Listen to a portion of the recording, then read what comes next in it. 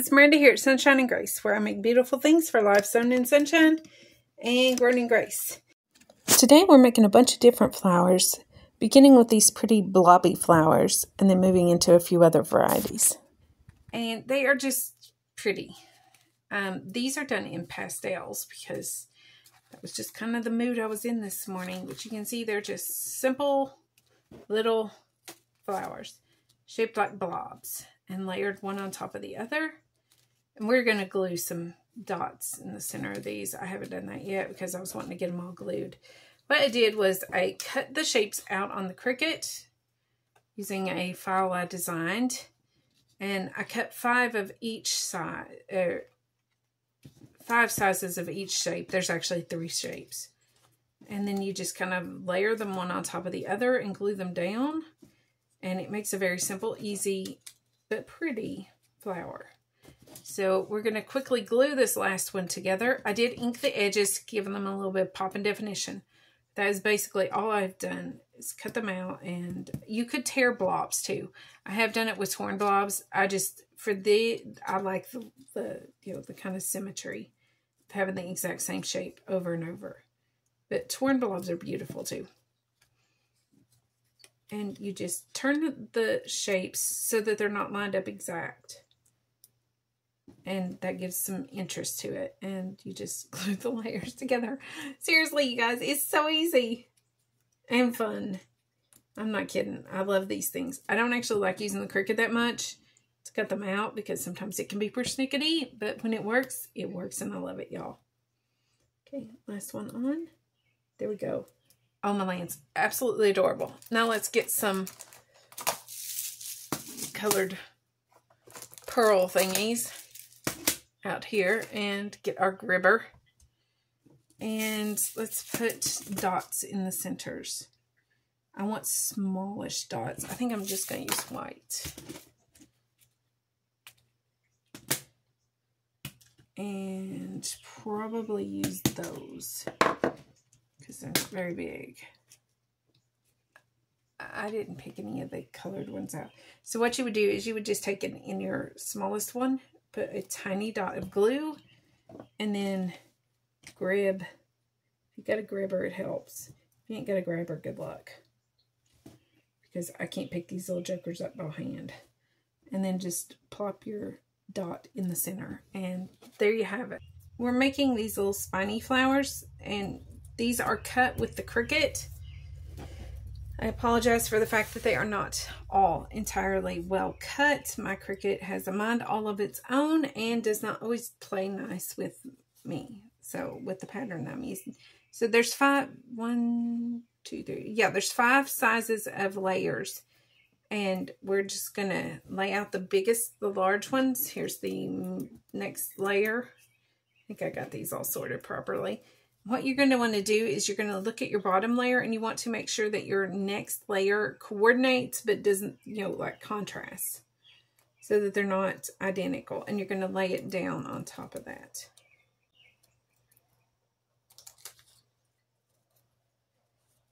It's just creates some interest. It does not matter if each layer is perfect. Then pick the next one, which is this one and layer it on somehow. This is why it doesn't matter if some of them are a little janky and like didn't tear cut correctly. Because yeah, that totally happens with my Cricut.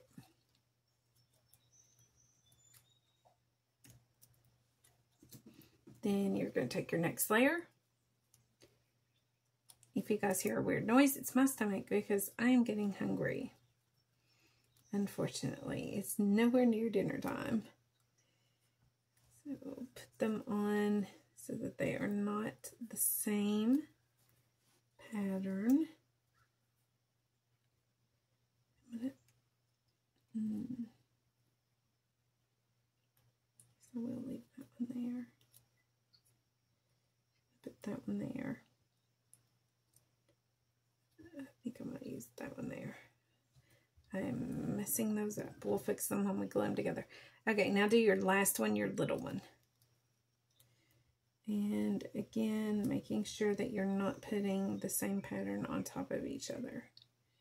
I like that one right there. Uh, now, what we're going to do is we're going to take one stack and we're going to flip it upside down. It's just easier to glue them, to pick them up. And do it this way. Put a dot in the center. Then pick up your next layer. And I'm going to try to pull that off of there without tearing it up. Line it up so that the petals kind of don't overlap each other, but kind of go in the center like that. And it takes a second to figure that out. You have to kind of play with it. Now you want to put these, the next layer, in the center of that. Then you want to do the next layer in the center of that. And we could stop right there. But we're not, uh, we might actually, no, that one's okay. And then you're going to take the last layer put it in the center. And it kind of hides all the imperfect. The way you have all the layers, you can't see where these, like, if they don't cut perfect, it's okay. That's what I'm trying to say. And you're going to take and ink it. You want to do it after you put it together, and you'll see why, because it's going to make these um, layers pop a little bit. And you want to be gentle. And it's harder to do when it's not all glued together already. Okay, then you're going to flip it upside down. You're going to take each layer and just curl and pieces up like this. Again, this is where if it's curled, if it's glued together, it's easier to do. I mean, I guess you could take and just roll them on something, but come on, this is faster. You just work your way down the, the layers so that it curls up a little bit. You don't want it to be like super curled. You just want like a little curl.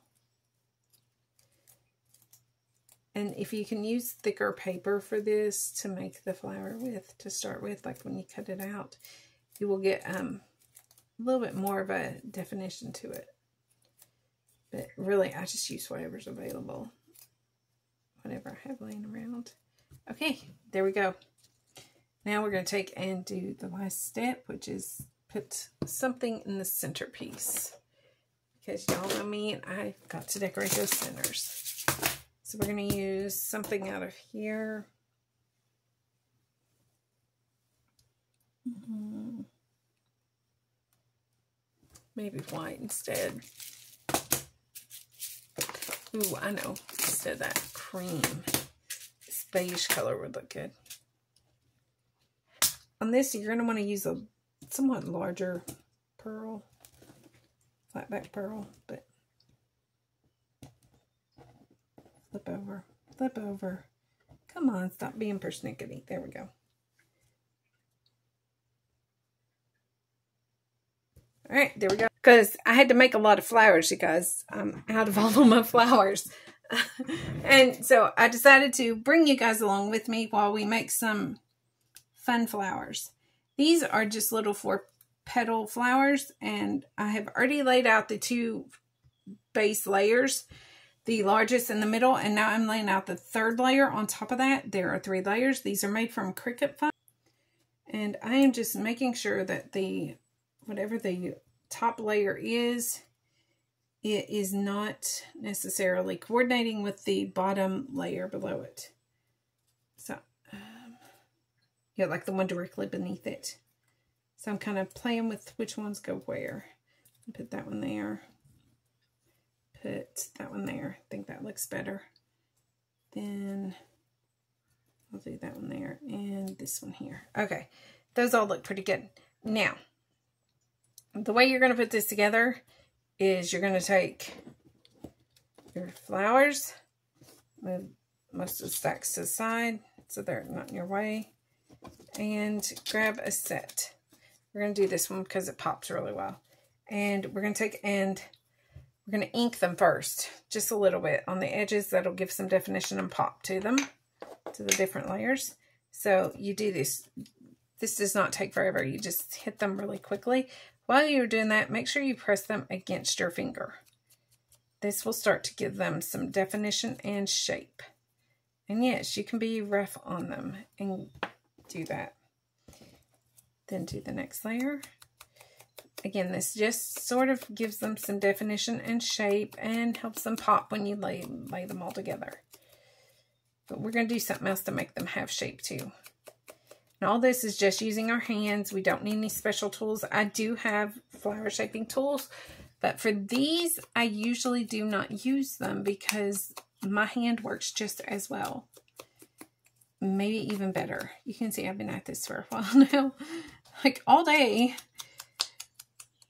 today making flowers. I'm going to have to stop here soon and fix dinner, but okay. So what we're going to do is we're going to take the flower, flip it upside down in our hand, just like this, and take your finger, make a knuckle like that, and just press it in there. That's really all you need to shape a flower, you guys. Then you flip it the other way and just press your knuckle in the other way. There you go. Now on the smaller one, because obviously it's smaller, you don't want to use a knuckle. You can just use your finger, your index finger, to poke it. Might have to move it around a little bit to get it poked. And then poke it down in the center and put it to the side. Now, this baby one, it's a little more difficult because it is small. So just take, I usually if I have much of a fingernail, I will use my fingernail on my pinky finger because it's small and poke it. And then just poke it down in the center. There you go. Okay. Now, take and use your bottom one, put a dot of glue in it. Now, put your next layer on top and make sure that where, instead of lining the flowers up like that, twist it to the side a little bit so that they um, don't exactly they go over the corners. It takes a second to get that to grab sometimes because it's dented. And then you're going to do the same thing with the next layer. Put it off center. Not off center, but off off center of the layer before it, below it. There you go. That's it.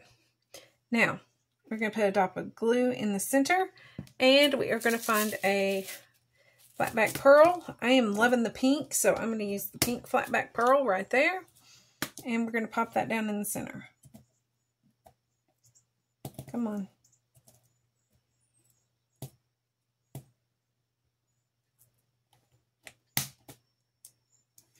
And that's all there is to it. You guys, I'm not kidding. Cutting them out takes way longer than actually making the flowers does. And is that not pretty? Look at that. Those are beautiful. They have a little bit of definition, but not too much definition. Just enough to be pretty. All right. Y'all, what do you think? Are they pretty? You gonna make some? If you do, and you put them on social media, tag me. It's Miranda McCulley on Facebook, Instagram, all that stuff. So tag me. I want to see your ranks. I want to see how you do them. I want to give you some love on them. Um, be sure to uh, check out the links below to find links to a Cricut machine and to the art glitter glue. And like I said, comment below and I'll send you the file that I used to cut these out. Um, if you do purchase something through those links, they are affiliate links. I do make a small commission, but I have already done the legwork to find you the best price and deal on the Cricut and the glue and anything else that is down there so that you don't have to and it doesn't cost you anything extra, but it does help support my channel and helps me bring you more great videos like this. So you guys have an awesome day and we will chat soon. All right, grace and peace. Oh, remember Jesus loves you so much, he died for you. And if you do not know that, I would love, love, love to tell you about my precious Savior and tell you the greatest love story ever. So you can also drop that in the comments below or over on Instagram, Facebook, TikTok, whatever. You can private message me. Uh, just talk to me, peeps, and I'll get you settled, all right? Y'all have a great day. We'll chat soon. Grace and peace. Bye-bye.